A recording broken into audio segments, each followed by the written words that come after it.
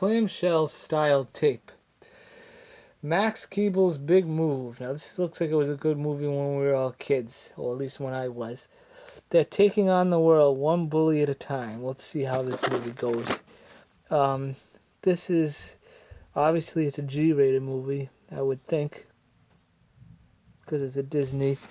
If you look on the bottom here, it says it's 86 minutes. We'll find out when we open the tape. This is um, wow, it doesn't even have a rating on it. I know PG. I'm surprised. 88, 86 minutes, and no mold. Is, hey, though. First, we'll just say the clamshell's intact. There's no cracks anywhere. Um, here's a tape. There's no mold. Um, crappy um label. Well, actually, no. This label's decent.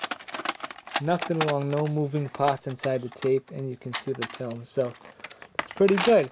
Another tape, and that's it. Bye bye.